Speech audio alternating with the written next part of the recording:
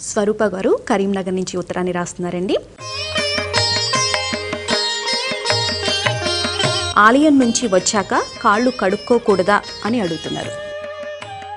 నమశివాభ్యాం నవయౌవనాభ్యాం పరస్పర ఆశ్లిష్టవపుర్ధరాభ్యాం నగేంద్రకన్యా వృషకేతనాభ్యాం నమో నమ శంకర పార్వతీభ్యాం అని ఆది దంపతులకు ముందుగా నమస్కారం చేసుకుందాం. ఆలయానికి దేనికి వెడుతున్నాము? అందులో ఉన్నటువంటి దేవత దర్శనం చేసుకుని వారి శక్తిని మన శరీరంలోకి ఆవాహన చేసుకోవడానికి అంటే వారి శక్తిని మన శరీరంలో ప్రవేశపెట్టడానికి పెడుతున్నాం అందుకే ఆలయాలకు వెళ్ళినప్పుడు తప్పనిసరిగా ముందు ప్రదక్షిణ చేయాలి భక్తితో యథాశక్తిగా స్తోత్రం చేయాలి వీలుంటే ఏదైనా నైవేద్యానికి ఫలం లాంటిది ఇవ్వాలి నారికేళం లాంటివి కొబ్బరికాయ లాంటివి. ఆ తర్వాత ప్రసాదం తీసుకుని అక్కడ కాసేపు కూర్చుని రావాలి.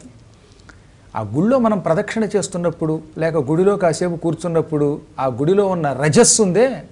రజస్సు అంటే ధూళి. సహజంగా దుమ్ము ఉంటుందిగా లోపల అది మన కాళ్ళకు అంటుకుంటుంది.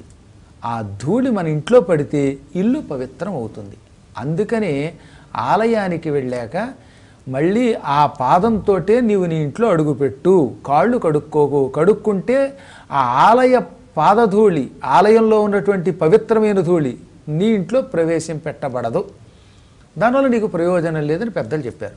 ఉదాహరణకి శివాలయానికి వెళ్ళాం ప్రదక్షిణ చేసాం ఆ శివాలయంలో ఎంతమంది మహానుభావులు అడుగు పెట్టారో లేక దేవతలు కూడా అదృశ్య రూపంలో తిరుగుతారు.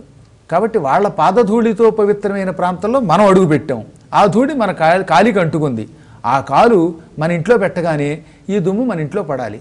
తద్వారా మన ఇంట్లో ఉన్న దోషాలన్నీ వాస్తు దోషాలన్నీ తొలగుతాయి. కాబట్టి ఆలయానికి వెళ్ళినప్పుడు కాళ్ళు కడుక్కోకుండా ఇంటికి వెడితేనే మనకి శుభం కలుగుతుంది. ఆ పాదరజస్సు ఇళ్ళలో పడుతుంది. మన ఇల్లు పవిత్రమవుతుంది. అనేక వాస్తు దోషాలు కూడా